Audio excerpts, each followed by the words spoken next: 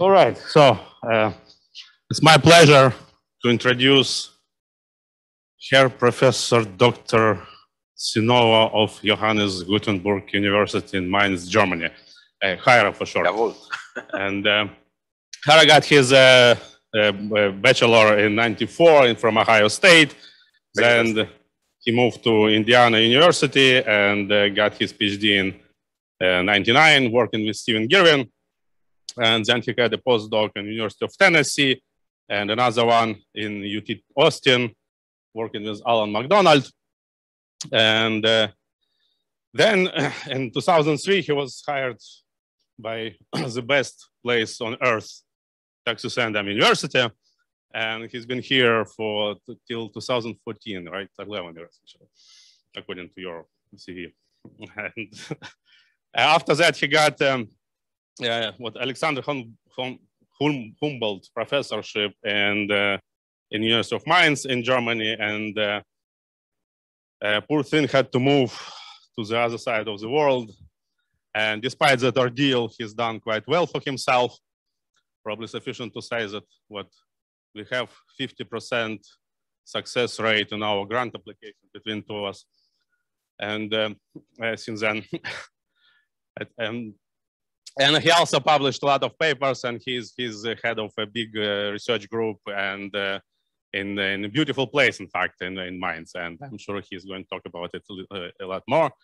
Uh, he's been known for his works on spintronics, antiferromagnetic spintronics, transport phenomena in uh, magnetic systems and magnetic metals and, and, and so forth. And one of the driving force uh, behind the spin-orbit interaction and uh, use of spin-orbit interaction in different uh, systems, physical systems. And uh, today he's going to talk about that new things which they were discovered and which called altermagnets.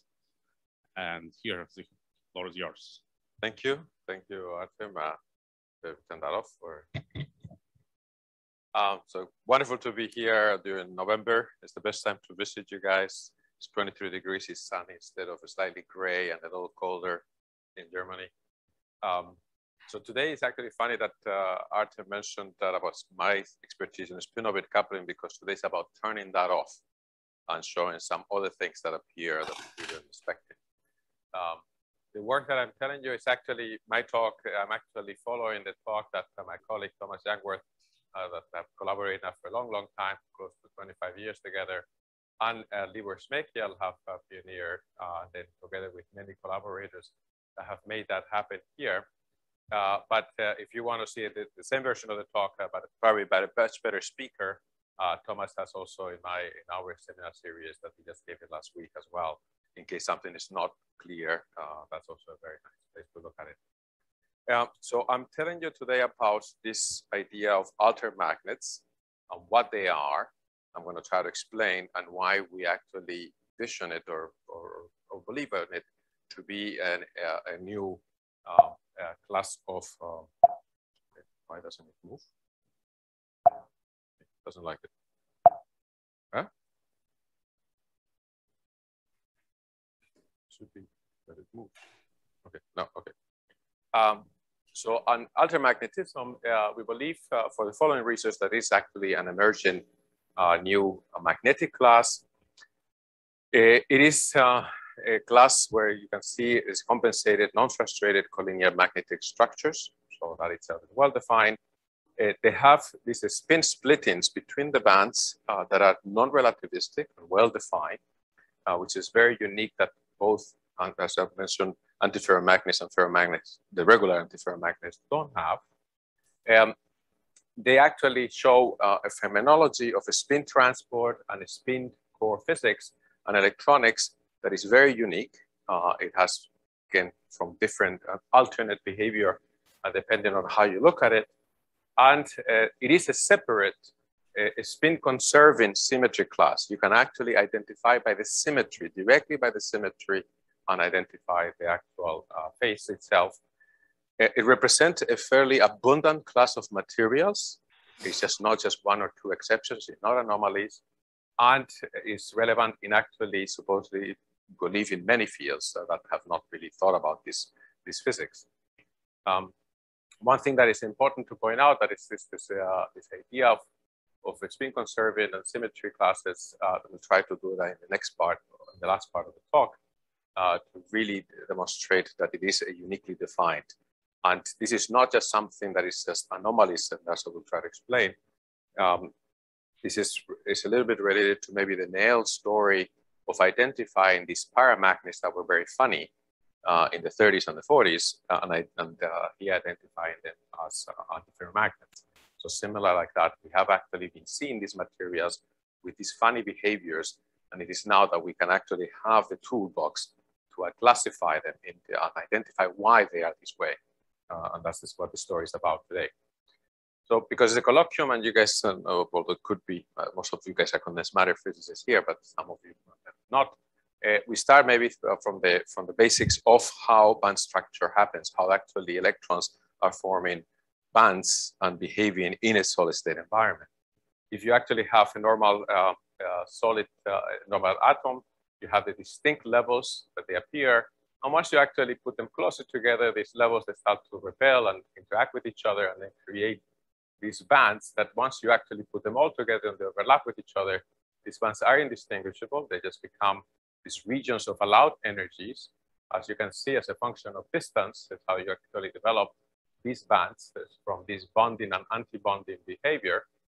And uh, not only that, uh, once you actually, uh, live in that environment with these very strong electric fields uh, and, uh, interactions produced by the, uh, by the atoms, uh, you actually have a state where the actually state of the material that you have depends on the atom arrangement, depends on the crystal symmetry quite strongly. And not only that, of course, you also have that the momentum itself, even though you have these very strong interactions, is a good quantum number. They movie move due to the Bloch's theorem almost freely through the material. Um, uh, from this, this is the idea of these band structures that they move almost like normal, normal electrons. Now, within this crystal environment, you also have many other interactions. Uh, some of them, of course, that bond you, create the magnetic vibrations, the magnetic phon the phonons, etc. But one of them that is responsible for creating phases of matter that are magnetic, this is the exchange interaction. This exchange interaction arises from the combination of Coulomb interaction and Pauli exclusion principle. Essentially, the fact that uh, in order to reduce the cost of the Coulomb interactions, you try to avoid electrons to be at the same place at the same time. Uh, you create, therefore, an antisymmetric wave function in the real part of the space and a symmetric one in the, or, or order one symmetric in, the spin part, uh, creating this, this, uh, this spin-spin interaction.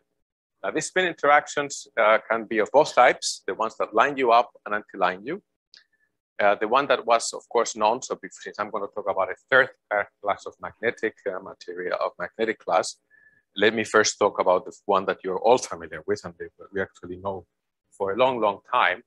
This is, of course, ferromagnetism. It's known now for you know, 2,000 years. Uh, this actually came from Magnesia, uh, the idea, the name comes from a Greek uh, region of Magnesia where uh, magnetite was this occurring natural material occurs. and this is where, in this case, in this simple example, you have, in this case, I chose this iron lattice, where you have the spins uh, themselves, they have an exchange interactions that is global, tends to align or, anti, uh, or align with, create a spin up and a spin down bands that is split between them. So the bands themselves, now they're going to have uh, a split behavior of the spin ups and the spin downs due to this interaction. And uh, because of this global nature and the localized nature, they tend to be metallic. Uh, and this one is one that is easy to change the orientation of the spin ups and the spin downs by applying the magnetic field. So if you actually uh, switch the magnetic, the orientation of the magnetization uh, from up, which in this case is here, towards down, you can just reverse here the, uh, the energy spectrum.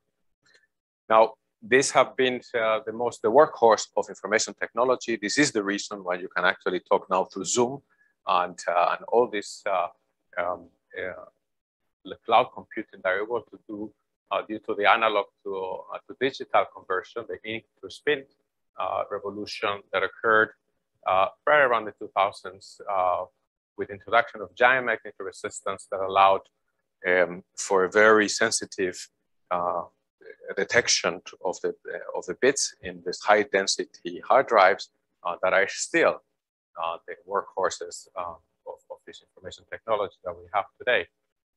Now, on the other hand, uh, this also shows different phenomena that now is very prevalent. two of them are very important. One of them is, for example, anomalous Hall effect. This was known for a long time since actually Hall discovered the normal Hall effect. In a ferromagnetic system, due to the spin-orbit couplings, uh, you actually have, as you drive a current through a, a ferromagnet, you can drive, you deflect the spin ups and the spin downs differently, creating a very strong signal that is proportional to the magnetization of the material uh, perpendicular to the sample. Uh, this is physics that is correlated to the spin-orbit coupling and Berry's curvature. Uh, and then in the other one, in the more practical sense, you have the new modern magnetic random access memory that are based on the spin transfer coil where you have two ferromagnetic uh, electrodes that depend a lot now on the fact that you have spin polarized currents going through the systems. And these spin polarized currents originating uh, from one of the ferromagnetic electrodes is able to transfer the information of the angular momentum to another and flip the want um, reading uh, ferromagnet electrode while the other one is spinned, okay, often enough. And uh, this is actually now commercial, uh, this magnetic random access measure, uh, memory space on spin transfer, for example. Uh, so these, uh, this uh, magnetic phase tend to be electrically and magnetically active. That's the important aspect of it. Now you have uh, the other magnetic phase that we are familiar with is antiferromagnet. Antiferromagnets really are anti-ferromagnets. It does almost the opposite of antiferromagnets. Whereas in the ferromagnet, the magnetic ordering of electrons is global. You can actually, it's macroscopic, you can see it. Uh, here, the magnetic order in an antiferromagnet is cloaked. You don't see it externally. The cathode magnetization is zero, uh, and uh, unless you have, of course, a weak ferromagnet. And uh, not only that, the order tends to be more local. They actually, their or the exchange interaction is uh, tends to anti-align locally uh, one sublattice and another sublattice. And here I've used the the one, of course, that Néel discovered in the 40s. It's actually amusing to understand that antiferromagnetism was actually uh, found after uh, superconductivity. It's one of the actually latest um, ordered phase that we've actually discovered uh, because of that cloaking device that you couldn't really detect it. And uh, he identified, and Néel identified um, these paramagnets that were showing some anomalies in their behavior relative to magnetic fields that you apply to them, uh, and ferromagnets as antiferromagnets and identify them as a magnetic order class itself. And, and these ones themselves tend to have, uh, because of the local nature of the ordering and exchange, uh, to be more um, insulating. So most of the Fermi energy, it resides uh, at the gap that is created between the two. And then not only that, if you consider that this, uh, just looking at the magnetic atoms alone, uh, for simplicity, if you look at the, the, um, the, the, two unit cell with two magnetic atoms um, that are oppositely aligned. There's actually a theorem known since the 30s, Kramers' theorem, that tells you that the bands themselves will be degenerate, that you're going to have equal number of spins up and spin downs. This is the case because you have asymmetries uh, in this case, which is parity and time reversal. So time reversal is broken. Uh, parity, uh, which is the inversion, space inversion, um, uh, combined with, with time re reversal is a symmetry of the system. You can actually see it here because if you actually take this as the point of inversion, you take this guy to this side, as you do here, and then you apply the time reversal and you end up with the same lattice. Okay. By doing so, the, when you do the transformation in the band structure, uh, parity and time, so time, uh, parity and time will act on the spin as reversing it because parity doesn't act on it, but time will flip the spin. But parity and time acting on the momentum will actually not reverse it because it does it twice. So parity, when you change the, when you inverse space, you change the momentum. And you do time reversal, you change the momentum, so therefore it doesn't change. So the transformation of PT uh, gives you the same state but with opposite spin. And because PT is a symmetry of this two sublattice system, simple sublattice collinear system, uh, this will actually tell you that essentially the energy, because it's a symmetry of the, of the, of the system, is going to be equal to its energy. And combining uh, with the same spin, and combining these two lines give you this Kramers degenerate theorem, where essentially, you know, it maps this, this PT symmetry maps the Kramers pair to the same momentum with opposite spin. And this mapping gives you this, uh, this uh, degeneracy. So in a sense, now you have something that is both electrically and magnetically inert. And in this sense, they are anti-ferromagnets. They are highly disordered, but it's still anti. Now, uh, what is this gives you a bit of a paradox because uh, you have Néel that actually discovered these antiferromagnets, and they say, well, they're interested but not very applicable. Yeah, they're not because of this this nature, the fact that they are inert, both electrically and magnetically, the ones that they like to, the, particularly the, the ruthenite, uh, rutiles uh, that, that, they, that Néel like to, to, to point out. Uh, but on the other hand, Néel himself had a bit of a weight when he said that because he, he was actually a very practical physicist, very applied physicist.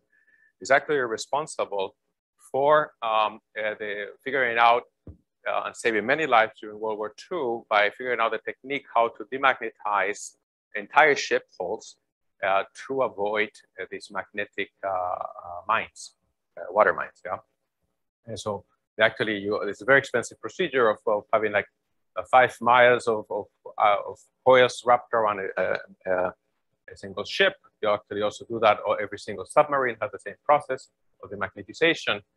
Um, and, you know, one wonders, you know, this is this paradox, if now antiferromagnets does this demagnetization process that is so expensive and difficult to do uh, for free, why cannot they be practical? Uh, now, for a long time, magnet, of course, antiferromagnets were not used at all until this revolution that I showed you in 2007. They have been already revolutionary because they have been used to pin down ferromagnets. Okay, this occurred by the fact that instead of being insulated, we just made them metal so they could actually introduce them with the other devices uh, and uh, create this uh, uh, this exchange bias that is called that pins the, the, the reference ferromagnet to be able to have this very sensitive other uh, uh, reading a ferromagnetic electrode in your very sensitive read heads that you have nowadays, but remains a passive element. It is not an active element. And this is where the physics of antiferromagnetic spintronics began a decade ago, almost 2014 and 2011, uh, in particular by my colleague Thomas Jungwirth. This was actually the idea of his ERC advanced grant that he actually proposed uh, by looking at these antiferromagnets, by the advantage that they profess, they have, of course, other spins. They're non-volatile, similar to ferromagnets. They're also radiation, radiation uh, hard, similar to those. But the, the idea that they have non-net moment, uh, you know, forced them to have very much better scaling in terms of the technology. Um, they actually have terahertz dynamics, which is actually a forced them to bridge this communication gap that happens in the in the in the uh, uh, that is much more effective. Uh, and then uh, they, they also have multiple stable neuron-like states that allow you for neuromorphic hardware computing. And material-wise, there's many more antiferromagnets than ferromagnets they tend to have in terms of the, of the range of materials that show that. So the notion of antiferromagnetic spintronics is to really make these guys uh, a direct manipulation of electrically manipulate uh, both thermally and electrically uh, the, the Néel order, which is difficult to do with a magnetic external magnetic field. Uh, also to make them active elements, create that bridge between the terahertz gap, and maybe even in the isolators have more efficiency of spin efficiency this actually, in spite of the fact that they remained, you know, by making them metallic now, instead of making them uh, insulating, uh, but still being a spin degenerate, this uh, copper manganese arsenide and manganese to gold, these are these uh, horse materials, uh, uh, workhorse materials that are PT symmetric, essentially these Kramers degenerate uh, antiferromagnets, or we call, call them PT nailed antiferromagnets if you like. Um, we were able to show and predict in 2014 that you could actually, it's actually a couple of years ago when I was back here uh, in one of my visits, uh, showed you that the, the, prediction that we had that electrically you could actually switch the Néel spin-orbit coupling, the Néel uh, order parameter, uh, and then there was demonstrated both in copper manganese arsenide and in manganese to gold, and then afterwards there was different, uh, a lot of work uh, done in this uh, in this field, looking at the optical manipulations, topological, looking at the manipulation of topology, insulating aspects, etc. But it's still remaining this idea that they are anti-ferromagnets. They're not, they're really behaving completely opposite to the ferromagnets themselves.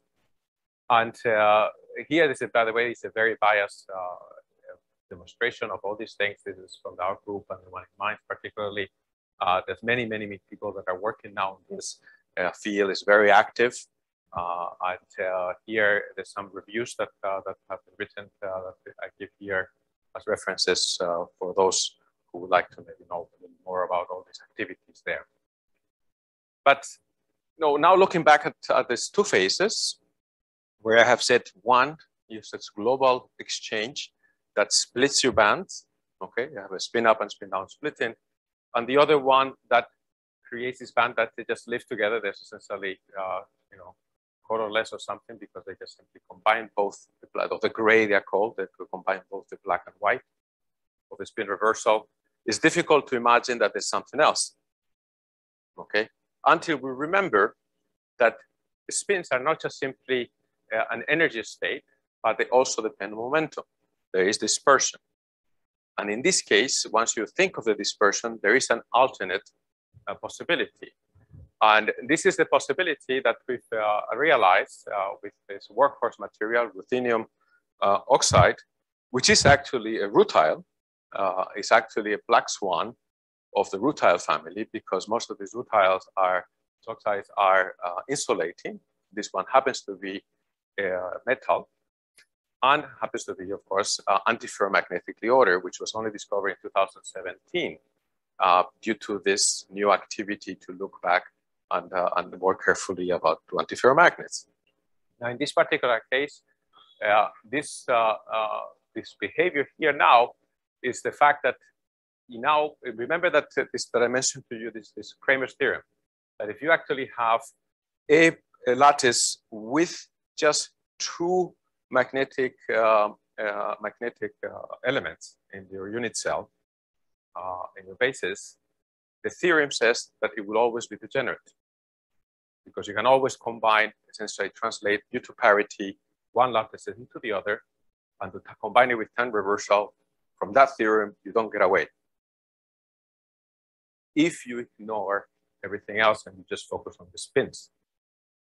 But what gives you this possibility is the fact that if you remember, there's also non-magnetic atoms running around here, which are the oxygens, that break that parity. You cannot now just simply choose here and then map one into the other one the, essentially the oxygen atoms will be different places. You, you not, you're not, it doesn't have parity uh, as, as, a, as a possibility, but you actually have, in this particular case, a fourfold rotation that you have to rotate and combine it with time reversal to actually have uh, this symmetry restored. And then once you have this, this 90 degree rotation to combine with time reversal guarantees then that you're going to have from now, instead of the mapping of one spin onto itself with the same momentum, that case gives you that degeneracy, you actually are going to have a guaranteed that for a spin up in this state, with a 90 degree rotation, you will have a spin down. That will be its Kramers pair, but lives in a different space of, of the Brillouin zone, in this case, connected by this 90 uh, degree rotation, but this rotation and time reversal, uh, and but with opposite splitting. And this now you have the split bands due to this connected symmetry. Okay? Uh, so you have an alternating spin splitting and zero magnetization system.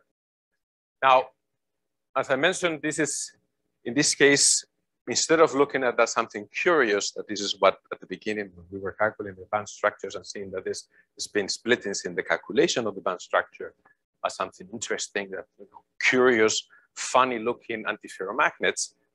In this case, the fact that they have no magnetization, that looks like an antiferromagnet. But they have that they have a split bands that looks like a ferromagnet. So do you think of it as an anomalous antiferromagnet or an anomalous ferromagnet? Or just as a different phase in itself? Or can you really consider it as a phase by looking at the symmetries in the sense? So we arguing, of course, as I mentioned at the beginning, that this is a, a, a really distinct phase. You can identify it, and we have now the, the, tools and the means to identify many of the materials that can have them. And uh, uh, in order to do so, let me actually go split this in, in two parts. Uh, we're going to split this part in two parts. We're going to talk about the phenomenology and the consequences of this type of macroscopic behavior. And then afterwards, I'm going to go into the actual mathematical tool, the symmetry analysis tools that one can look back and utilize to identify it as a class, as a distinct class, uh, not something that overlaps with, with others and just uh, some particular um, material. Uh, so then the, so let's uh, start just discussing the first parts of, of what the consequences of these um, split bands connected by this rotation are, and then uh, discuss afterwards how one can identify them mathematically uh, by what is called the spin group theory. Uh, now, we first start, uh, by the way, how long do I have until, it's just 45 minutes, right, or something like that?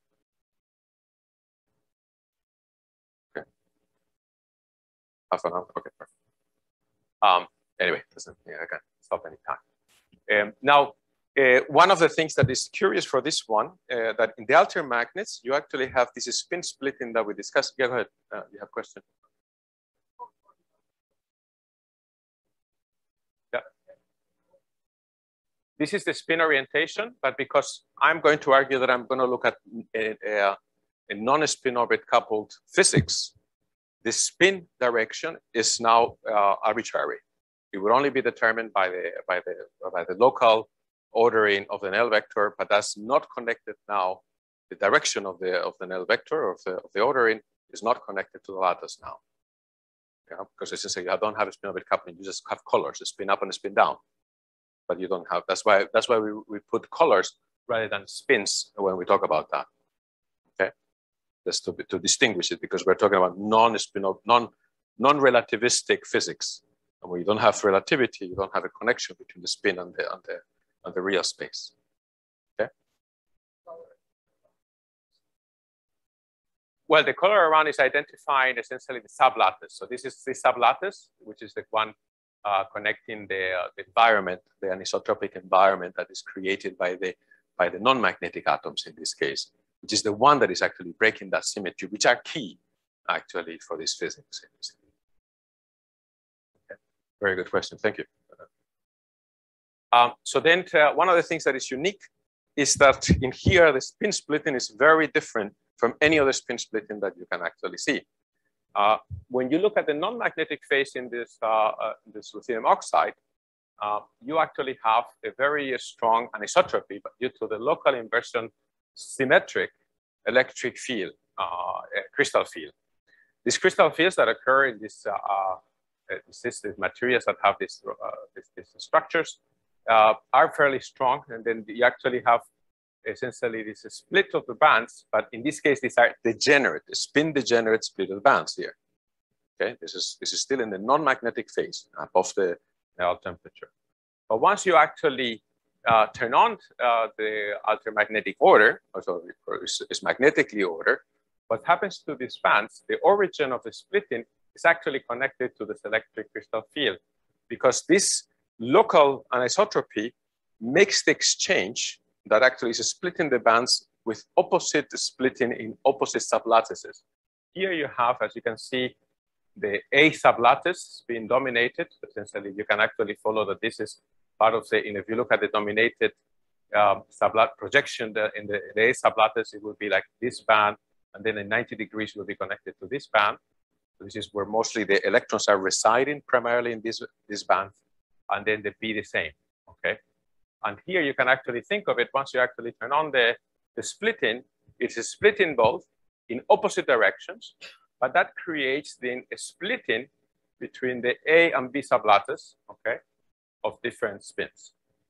So in this case, in one direction, in the KX, in the X direction, you have one splitting of spin ups and spin downs.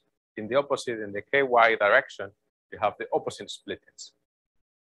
Okay, and this is uh, you know at the gamma points. In, since in some points in there, the gamma points it will always be degenerate. That's actually you can show that directly, and some other planes that have a high symmetry will also be degenerate. Uh, but generally during the whole Brillouin zone, you still have this 90 degrees connection, and this type of splitting is unique. That has not really been identified before. Yeah.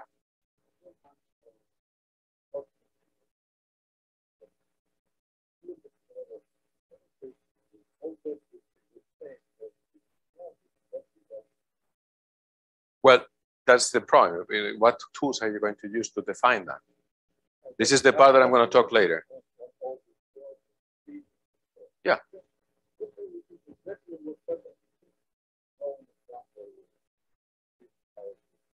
So this is actually, yeah. Okay. So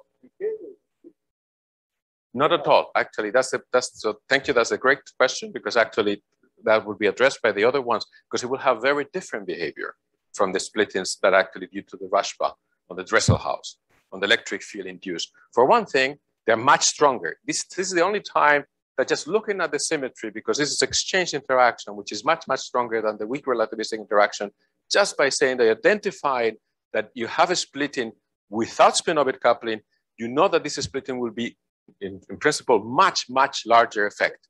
But uh, you will see in a minute that, for example, they actually lock in itself, whereas its at number locking uh, or, or, momentum locking is at as you go around the spin, like in the Rashba, in this case is even. And it's actually going to be quite distinct. And not only that, the tools that you need to use is not the magnetic groups, because the magnetic groups and the analysis that you tend to do would only tell you that there's a splitting. You cannot distinguish between whether it's a spin-orbit coupling or, or, or this other effect. They are all mixed together. It's not designed to distinguish them. You have to now use the tools that split the two to identify it. And in this case, that is where it's unique. Uh, and it's quite different. Yeah. So in that sense, I mean, it had been discussed that, uh, or I think even Rashba was in, in the Zunger in the wrong paper, actually. they actually made a mistake uh, where they say, oh, it's a spin-orbit coupling because, but it's not really because if I say that, then that means that the spin direction will be connected to the momentum, but it's not. In this case, it's definitely not. In this, in the one of the of the spin-orbit coupling, the direction of the spin is connected to the momentum. Here is not, which is also quite different as well. No, but it's actually, if you look at it of how the 90 degrees, it will be, in the other one will be always odd. In this one, it will be even. Okay, you will see that. You can be very full, but in this particular case, it's definitely not. There's nothing, not an equivalent in the other one. There is one where it's called anisotropic exchange, where you will actually have identifying other parts of the, of the zone, these splittings that look like a little bit like that. Uh, but this one is in, this case very unique in the, in the phenomenology of it. Um, so just as I mentioned here, uh, this, this is essentially thinking that you have this momentum is essentially constant exchange with opposites by splitting, opposite exchange for the opposites for the A and B sublattices. Um, and compared to the one that is global, uh, in, in ferromagnets, you have this uh, magnetic exchange that is global. And as I mentioned now, the thanks to uh, this question, uh, that this is uh, much stronger because compared to the weak relativistic uh, uh, fields that come from global spin inversion. In this case, it's a local uh, symmetry breaking that you have this. And they tend to be, in this particular case, of lithium oxide and, and other materials that were identified, and then the DFT calculation for very strong splittings of electron volts, which are huge if you're familiar with spin-orbit coupling. Spin-orbit coupling in the solid state environment tends to be on the order of milli electron volts. Uh, so this is almost a thousand times uh, larger. Now, it also has now, this was actually the bulk. So this was the core physics of this, the core spin physics. Are they also electrically active? Can we now create spin currents which are very, very relevant for things like giant resistance and GMR and uh, GMR that are relevant for these things? And in this case, the answer is yes. And the first example here, if you look at the geometry, because of the anisotropy that you have in the spin ups and spin downs of your band, so this is the Fermi surface, once you run a current here, in this case for the 1-1-0 direction, you will see that you have a majority of the spin ups and a minority of the spin downs. And therefore, this spin current in this particular direction will be polarized. And this will, the consequences of that, as we calculated with the uh, uh, DFT calculations in this, in this work here, uh, will give you very strong uh, GMR effects and tunnel magnetic resistance effects in these systems, which are the workhorse of all our devices uh, that are actually uh, used nowadays in, in, the, in, the, ferromagnetic along the, the memory sector. And in this case, in a system that has no magnetization, or it can be miniaturized as much as you like. Uh, another effect, uh, and then so, so you can have these stray fields, for example. Uh, another effect that is very uh, important that is actually was actually a nice prediction that we had as well is that not only do you have this charged spin polarized currents, you also can have pure spin currents just by rotating your, your uh, this uh, orientation in 45 degrees. So now you run the current in the 100 direction. So essentially in this picture, you just run the current in this direction. And in doing so, you immediately realize that you have, of course, charged unpolarized charged current in this direction because there's equal amounts of spin ups and spin downs. But now you have a diffusive, actually a dissipated, uh, but very large spin current in the opposite, in this perpendicular direction to the charge current, because of the splittings being so much larger, the actual effect for the ruthenium oxide is 38% of the spin Hall angle, which is far, far larger, in order of magnitude larger than any found in a 30,000 uh, DFT machine learning computation of all of the possible anomalous uh, spin Hall effects due to the Berry's phase.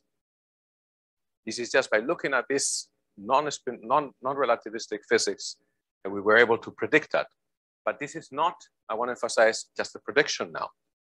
Just a few weeks after we put that on the archives, the Cornell team uh, started looking into it very carefully because we tend to have a good uh, predicting uh, track record and observed it as well. So this is now been observed in the experiment that it was just immediately after this appeared on the archives, they looked for it and now they've observed it. I don't know if it's already published or not uh, by the Dan Ralph's uh, team in Cornell.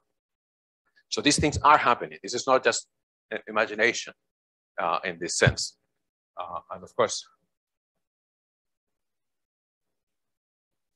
uh, I'm not sure if it's going to be in the data storage, but in terms of looking at the effects that it will have in other fields, it will be large.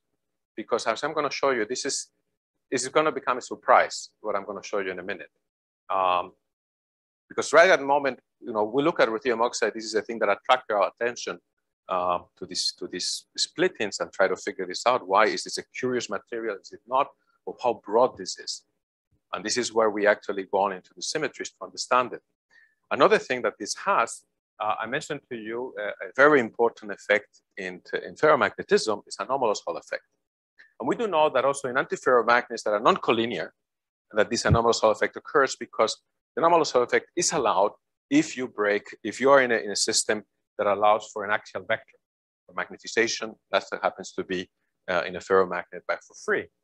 Uh, now, in this case, uh, we actually predicted uh, this crystal Hall effect in this ruthenium oxide that it will be very strong because uh, if you know about anomalous Hall effect, that comes from a spin-orbit coupling, of course, but it is very important that there is near these band crossings that happen close to the Fermi surface. In most ferromagnets, these things would be a bit accidental. You look for the ones that have these band crossings close to the Fermi surface that will be very strong. In these altermagnets, it will come guaranteed, these crossings, because without spin-orbit coupling, of course, uh, you have uh, this uh, very strong uh, crossings. And then once you turn on the spin-orbit coupling, in this region, it creates very large hotspots of anomalous Hall effect that then will be uh, observed. Not only that, one thing that is unique from this one is that whereas an anomalous Hall effect cannot be turned off in an ferromagnet, because you cannot turn off magnetization in a sense, in here, this anomalous Hall effect is connected to the symmetry, and this symmetry will be connected to the orientation of your Néel vector. And you can turn that on and off if you manage to uh, orient or reorient this Néel vector. Again, just want to emphasize that this was a prediction, but it's also a reality uh, because immediately that was actually before this uh, spin Hall effect. Uh, it was followed up uh, by, uh, by Feng and collaborators in China, uh, where now there's an experiment that has shown clearly that you have that in ruthenium oxide. These other materials that we have that are showing that anomalous Hall effect that also alter magnets, uh, but this is also, as I said, uh, discovered. And it was a very big surprise because remember this Kramers' theory, everybody associated these collinear antiferromagnets with Kramers' degeneracy. They never thought in a million years, just by looking at the symmetry, that anomalous Hall effect would be allowed. Uh, at the time, we called it a crystal Hall effect, but now we know that this is connected to this alter magnet phase uh, that we talk about. Now, uh, in the last 15 minutes, uh, let me discuss the next part about how we actually go about identify from the symmetry class uh, these particular materials and this class. Why are we defining it? So in this case, not just simply by saying, oh, it's just a peculiar antiferromagnet. Now, uh, remember the phase, the, the, rotation that I mentioned that you do a 90 degree rotation and a 180 degree rotation in spin space. Okay. This is the actual symmetry that the ruthenium oxide has, the one that I was looking at. Are you allowed to actually do such a thing? Can you do space rotation and spin rotation separately? Now, most of you, a large percentage here, study in Moscow Institute of Technology or somewhere there, and use Landau, will actually know the answer immediately as soon as you open Landau. And says no. Why? Because uh, if you look at just from the classical point of view, uh, the magnetization that is arising from the uh, currents uh, are going to be due to the, to the space uh, currents that are generating this magnetization. And if you look at the relativistic spin orbit coupling, the more fancy part, uh, the more sophisticated part, you also have the spin orbit coupling arising from uh, the relativistic effects that couple both. So therefore, if you actually do a rotation in spin space, you have to do it in real space. But is that all we have? Now, if you look at this physics, you say, okay, that's, that's always coupled. And in reality, that is true. Essentially, they would not be uncoupled. But in here, if you actually do that, you would actually mix different strengths because spin orbit coupling is weak. Okay, also the other part of the classical one. But there's something in between that we've actually, that is well defined actually as well, uh, which, which we left some room in there which is the non-relativistic quantum mechanics. And this is by uh, assuming that you, you, essentially you don't have a coupling between the spin and uh, because you know that exchange interaction, which is non-relativistic in this case, uh, is just connected uh, uh, to non-relativistic physics, is going to be dominated. And the, the one that in fact is the one responsible for the origin of the magnetic phase, the fact that you have this instability or where the magnet points, etc. That's due to relativistic weak effects, you know, these anisotropies. But the origin is just coming without it. Now, in order to do that, you actually, uh, you know, in this case, um, you will have to, of course, in this case, by the connection, you will always do the what is called the magnetic group theory uh, or analysis. This magnetic group analysis, you couple both spin and real space together. Okay, and study your symmetry groups that way and classify your systems. Now, in doing so, in this case, if you use that mathematical tool of magnetic groups in terms of analyzing your symmetries, you will not be able to separate, because it's not designed to, any non-relativistic physics of this sort, which are very strong, as I showed you, and the, um, the, the, uh, the, the relativistic physics of spin-orbit coupling, which tend to be weak. They will all be mixed. So you cannot identify or separate it. Not only that, many of the magnetic groups will not distinguish you between a ferromagnet and antiferromagnet. Both a, a, one type of ferromagnet and an antiferromagnet can belong to the same magnetic group, often belong to the same magnetic group. Okay? So that cannot distinguish that either. You cannot differentiate those classes even at that level. Now, on the other hand, in the 70s, there was a nice development where you actually did have this mathematical tool developed by, uh, uh it started, of course, with Shubnikovs with the bicolors, but formally done uh, here, that's what we follow here at least, uh, Litvin's work, uh, where you can actually separate the two, okay? And they're only linked by the time, when you do time reversal, that considers spin reversal in spin space. And um, in this case, uh, this is a much larger generalization of, uh, of, the, of, the, of magnetic groups or spin groups. Now you're actually able to decouple the rotations that the operations that you do in one space and the other, and be able to, uh, to generalize the magnetic groups in a sense. Uh, although uh, there is not a correspondence or a direct correspondence between a spin group and a magnetic group because of the fact that it has these spin symmetries that the magnetic groups themselves will not have. Essentially, you want to create that tool that can differentiate these phases. Um, and this is a tool that you effectively will want to use if you want to describe these magnetic phases that are distinct, particularly a collinear or, or coplanar. Uh, magnetic groups cannot distinguish between a coplanar and, and, uh, or a collinear, coplanar, and non-coplanar uh, uh magnetic ordering. Now, uh, an important part is that you have in these spin groups, uh, this spin space alone symmetries, which do not exist in the magnetic groups.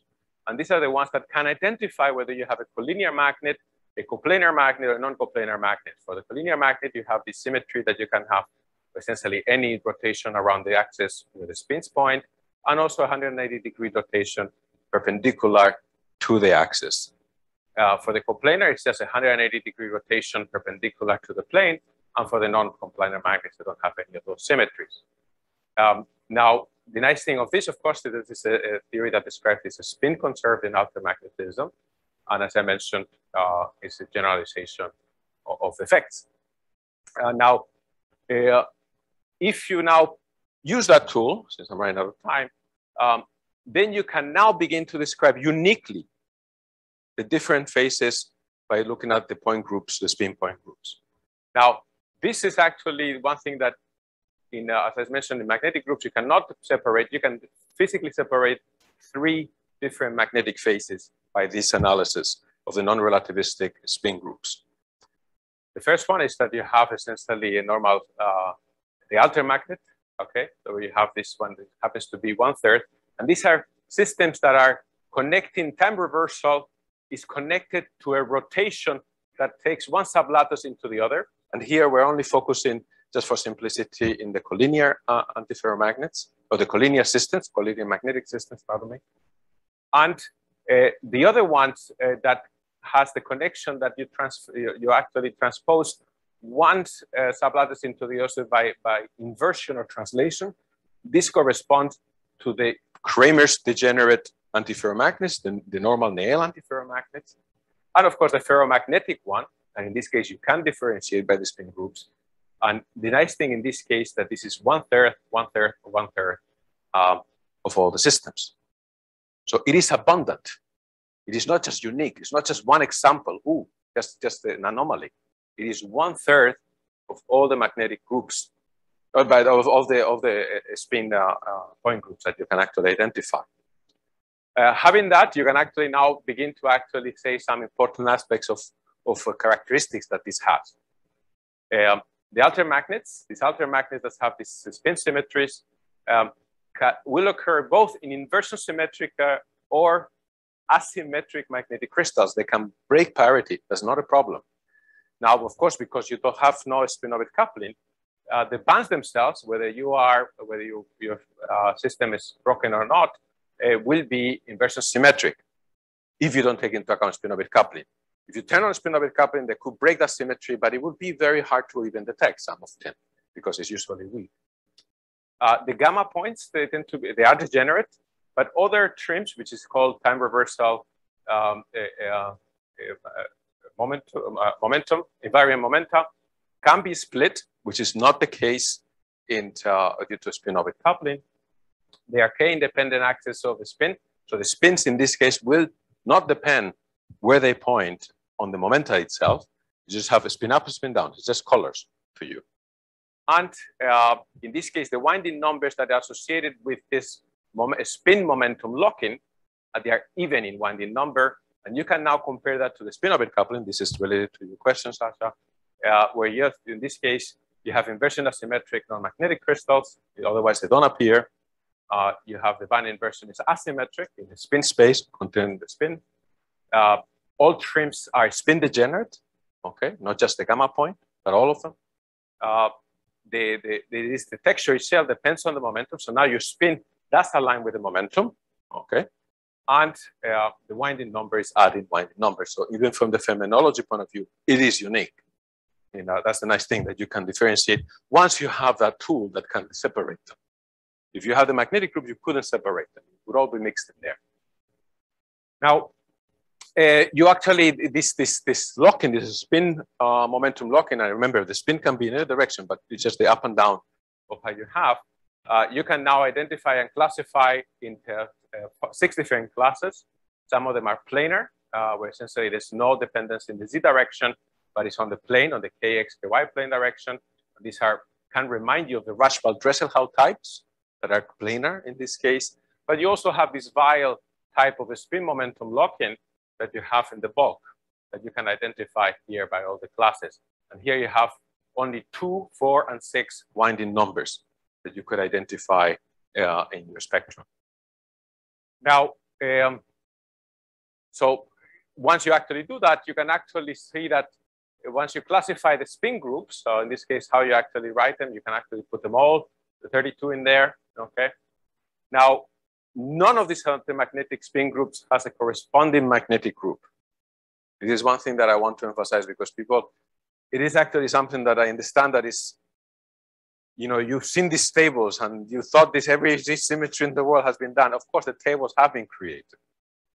But in this case, uh, um, they're not one-to-one. -one okay? Uh, because the magnetic groups not have this spin group only part of the symmetries. So essentially they cannot, they're not built to distinguish. They're very, very good for many physics, but if you want the non-relativistic physics, that's not the tool uh, to be used. Um, we also were able to identify with that uh, many of the anomalies, because these things just didn't come out of, uh, out of vacuum uh, all of this identification of the spin splittings in antiferromagnets uh, were known, you know, from the, you know, in, this, in the work from the 2012. We were able to backwards find them, of course. Uh, some of them were independently found by, by many, by NODA uh, in 2016, by us in, in, in 2020 and 17, and, uh, and Hayami. There's several works by many people uh, now with both experimentally and theoretically identifying them. But now you can actually identify just knowing the, in the, in the, by the symmetry grounds which one they correspond and understanding why these anomalies were appearing from a symmetry point of view, which is very powerful, of course, because that without doing the full calculation of DFT calculations, which are very expensive, you can already tell which ones will be or will not. Even some crystal, uh, crystal, uh, crystal groups, just by looking at the crystal, not the spin, uh, can be discard, discarded by looking at the spin group analysis. Okay. Uh, another surprise is that this occurs in both metals, uh, insulators, semiconductors, but even some firing cuprate uh, compounds. Lanthanum copper oxide is altermagnet. Okay. What is the repercussions? We don't know. Uh, chromium antimonide also showing some two-dimensional versions of them also showing some uh, interesting features, in this case, uh, with a very high uh, Néel temperature. So many of these things that we were able to, all of these things, by the way, that we've identified, all of these, uh, all of these materials that we identify, we have done the DFT calculations for them and show the direction. So in the actual paper, you will have all these materials calculated. They were not just looked up in a table, yeah, because there's no really a classification on the spin group theory yet uh, that you can actually look up from the magnetic groups uh, or the Bilbao uh, repository of materials, etc. Uh, but this is very intriguing. Actually, uh, when I talked to, uh, to Misha Katsnelson, he was not expecting it. That he did some calculations, but never with these actual features in it. so we're, going to try to do some of these calculations as well. Just to wind up, is the last slide. I think I timed it okay. One thing that I want to emphasize that is altermagnets, they occur in, in, in several dimensions, in three dimension and two dimension. Can, they cannot occur, they cannot occur in one dimension. This, this, uh, this analysis uh, forbids it. Uh, they occur in both insulating, semiconducting, uh, and, and, metallic, and even superconductors. Uh, there's a large range of materials, rutiles, ruthenites, perovskites, uh, cuprates, ferrites, silicates, pnictides, I can never pronounce that, uh, and chalcogenides, no? you like those, um, have uh, those altermagnets in glass themselves. And they themselves are shown a plethora of a lot of physics that can have repercussions in other fields. Uh, you have these, these uh, winding numbers uh, without, without correlations, the Fermi liquid D-wave instabilities that you will see uh, in, the, in the physics. The spin polarized currents that now have been observed. Valleytronics, valleytronics that are different from the other valleytronics because they're even in momentum rather than adding momentum. Uh, of course, have I showed you that the, this is the, the, idea that you have GMR effects that are large. Uh, this has some multiple toroidal magnetism with the spin waves that we haven't really begun to explore of how the magnetic the anisotropies will be playing a role, uh, whether they have play a role in the waves um, uh, magnetism with superconductivity, we don't know. Uh, and the fact that you have a lot of topological physics appearing from the topological Hall effect, etc. Uh, I think this is the beginning of, of looking at these materials much more seriously and uh, in a useful way. Now I have to mention the, uh, the, the, the, materials that have been used for manipulation of antiferromagnets. These manganese to gold and copper manganese arsenide, of course, are not in that category. They're essentially the other class, uh, magnetic class of antiferromagnets, PT, but still a, uh, very useful. This is the other class that now is showing also different behavior. Um, that I think is going to be very exciting over the next few years. So with that, I'll thank you and uh, take some questions. And again, if I have been misrepresenting or not very clear, don't listen to my talk because I tend to babble and talk too much. The best talk is by uh, Thomas Jungwirth that he just gave it in the SPICE Center uh, YouTube channel as well that you can find if you, if you so wish to see it as well. And, and uh, I should give, of course, the credit. Uh, I'm here as a, as a spokesperson of this young man, uh, Šmejkal, which is uh, Thomas, have been driving all this physics, and particularly intellectually, it is Libor that has been driving all this physics. All of you guys know me here, and they you understand that I knew nothing about symmetry a couple of years ago, yeah? Uh, so, so the, you know, I want to make that very, very, very clear that all of this intellect and discoveries are his and his alone. And I just have the pleasure and the fortune to be part of his team. Okay? And together with Thomas. He's also driving it on. Thank you. More questions? It's fascinating. Uh, um, and in fact, there is a parallel with nuclear physics. We can discuss this later. But um, so you alluded uh, to the fact that then after you made a prediction based on uh, point group theory, you alluded to the fact that then you did the, the DFT, density functional theory. Yeah, both at the same time. At the same time, right? Absolutely. And, and they agree, right? Absolutely, absolutely. Yeah. Well, because the, the symmetry analysis is very clear. Uh, and of course, the DFT calculations, these materials had been done before they will be there. It's just did nobody look for them. Many times when you actually show these data, for example, in, in, in lanthanum uh, copper manganese arsenide, uh, sorry, in the cuprate uh, compound that I mentioned, if you look at the presentation of the data, they usually show in ARPES to the high symmetry lines or high symmetry planes, which are spin degenerate. so they wouldn't, not because you don't look for this physics. And then it had been observed. But of course, all of the th things that we're connecting with our symmetry analysis, we always do the hard uh, ab initio calculation to show that it's real. Some of the predictions that we did, like the, the uh, anomalous Hall effect, the crystal anomalous Hall effect, was before we developed uh, the, the Libor, they should stop saying we, yeah? Libor and Thomas developed um, uh, this uh, spin group analysis. Uh, but of course, we wanted to understand, is this just an anomaly? To me, it's, it's very reminiscent of how Néel discovered antiferromagnets. He's the one that discovered them. Uh, by analyzing peculiarities on paramagnets. Those are funny paramagnets, yeah? And then really understanding them. We don't have a back track record on predicting things that even the Russians didn't predict. Yeah? Sorry. I say it with a lot of love. yeah, Peter. Care to see if uh, any of the other cuprate uh, would be? Not all of them are. It's just the, uh, uh, not all of them, but, but, you know, remember this is a team of. I mean, Libor, um, he works 24 seven and a little extra at night. So, and he's primarily doing it, you know, driving it in terms of the calculations and analysis and all these things. So But of the Cuprate superconductors. not uh, all of them do, not all of them are. Yeah. Of the cuprates. yeah. So we're not claiming that this is the origin of high Tc superconductivity. But it, but it, but it may be. No chance, Doubts it. pretty much. But I, with the, what the consequences of that is, is it could be interesting. Yeah, it could be, but there is no doping in your system and in cuprates. That's very important. Any more questions? Or from Zoom? I don't know if, uh, how do you take the question from Zoom, by the way? There's no question of Zoom yet, okay. Yeah.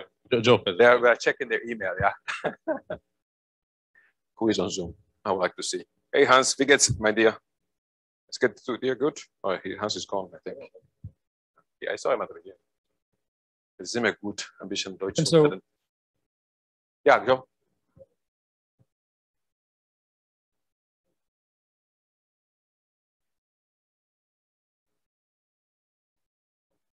No, it's not a local strain. It's just the it's just the, the orthorhombic ordering of the root heights. So there's no strain in there. There's a crystal field, but it's crystal field without strain. It says anisotropy. The, the, the, the, bands, the bands are anisotropic.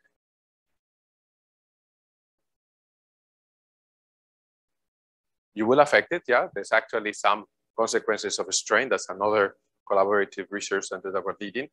Um, and that will affect the crystal fields, and therefore it will affect the symmetries. But you also break the symmetries themselves of the system. You will go to a different symmetry class. well. But in this case, you need that rotation because without that fourfold rotation, uh, you wouldn't have this altermagnetism. You need that uh, fourfold. The, the, the key thing in this case is that you have the time inversion comes in connection to a rotation, not a translation on an inversion, but a rotation. Uh, and if you, with a strain, you can break that, it would be a fourfold. But if you just go to, to, to break it totally, that, then it doesn't happen. Or it would change this. Uh, this- this symmetry. Other questions? Well, I actually have Yeah. one. Uh, Okay, let, let me, let me first. So now, imagine that I consider two layer, two layer system. And I call like which layer I'm in, my pseudo spin. Right, so that, that spin space will be completely decoupled from, uh, from two dimensional space, which I'm in. right? Space. Will, will anything like that appear there? um, a two-layer system, and then you want to Well, I, I call which layer I am in, I call my pseudo spin. right, but uh, where is the magnetic order there? Whatever whatever order is the spin is that that pseudo spin is in The layer one. yes yeah the pseudo spin Uh, forget about real spin just just uh, work with pseudo spin no, because you see, this is actually you do have to have time reversal broken. This is connected to time reversal being broken. This is P. This is essentially you have to have R times T as your symmetry element, and this one doesn't, because T is there, and then T guarantees spin degeneracy. If you have a spin degeneracy, T as a, as a symmetry, forget it. You don't have any of this physics. You have to have time reversal symmetry broken, and only T comes as R times T in the in the uh, in the uh, in the symmetry class. In the symmetry. of course just like Hopefully, but it's not. There may be an analogy, uh, you know, to the. Uh, of course, I didn't think about it in terms of the quantum Hall effect of this. yeah that uh, that, that, layers. that, that what there could be an analogy, but then quantum Hall effect does have time reversal broken. So there you could have it, possibly have it, but that's a different story probably. I haven't thought about it. But for just layers without with time reversal, gone. Uh, yeah, very nice talk. So I have two questions, ac- um, actually, which are uh, regarding the symmetry. So first is, I'm still kind of confused, like what can be captured by spin group that cannot be captured by magnetic group? Again, What the phenomenon that can be captured by spin group? and Thank you. cannot- you, I, I'll give you the 20 bucks later, but just to, this is a fantastic, this is a, because it is very important to understand what it cannot happen. you know, what the magnetic groups cannot do. Um, so essentially, these magnetic groups here, magnetic groups, some of them are going to tell you that you have only uh, uh magnetic groups that are only antiferromagnetic, but uh, among them, most of them are this Kramers' degeneracy. So you will not identify uh, uh, this, this uh, you know, you would just say, okay, it's just degenerate because it has PT degeneracy that we knew since 1930. Beyond that, nothing else can be done because the magnetic groups cannot separate the spin-orbit coupling splittings from non-spin-orbit coupling splittings. They're all together. There is not a separation between them.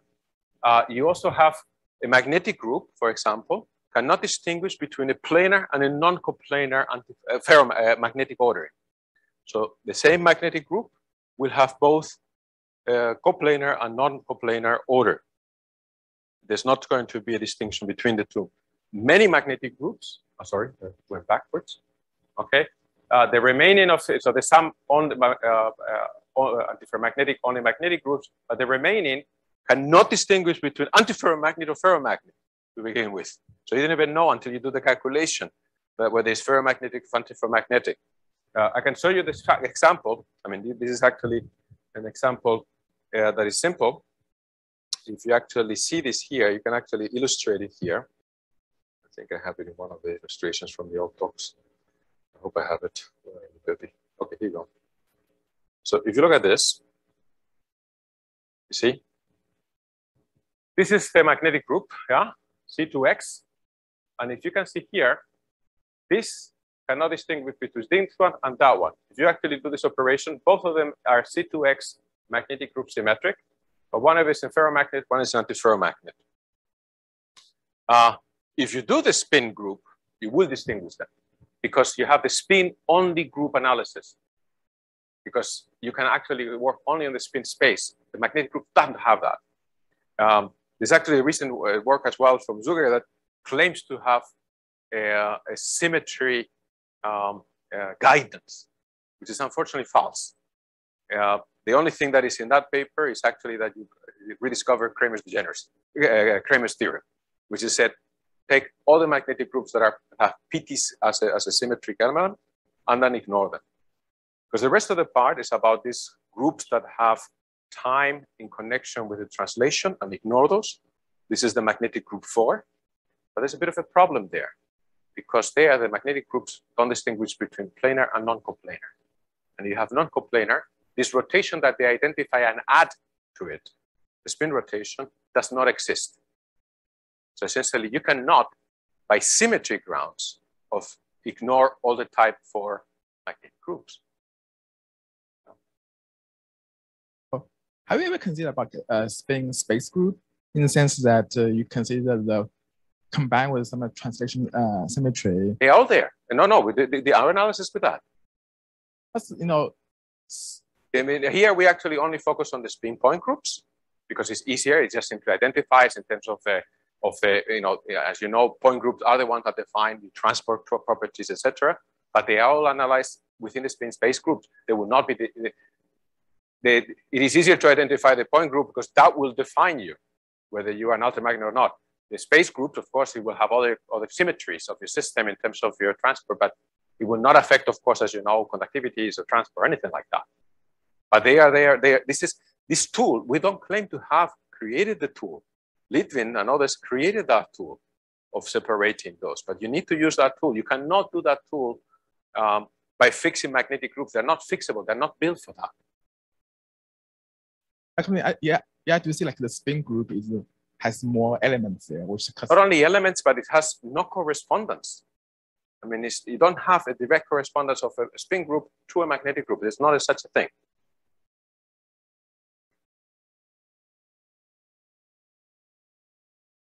All right, let's uh, thank the speaker again. And uh, thank you, guys.